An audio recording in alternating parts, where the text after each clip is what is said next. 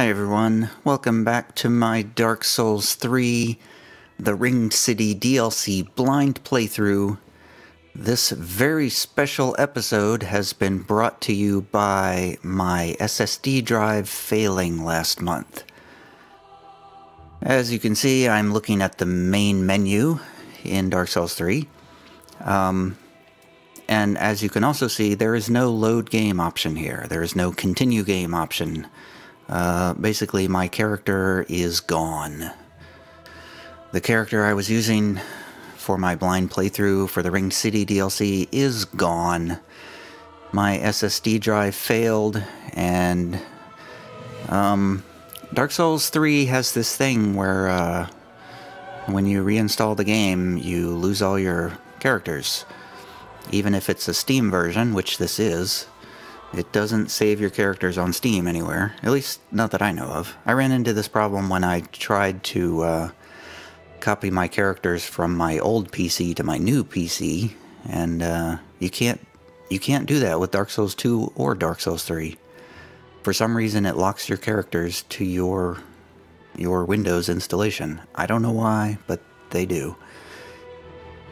So unless somebody out there happens to know how I can retrieve my old character, I'm going to have to start over again and uh, build up another character until I can get to the DLC again and pick up where I left off. Now, um, I did actually, since the last video I uploaded, which I think I ended at a bonfire, I actually started to record another episode and I played about five minutes or so and ran into another boss. Um, and then I realized uh, the boss killed me. And then I realized, oh crap, I wasn't recording.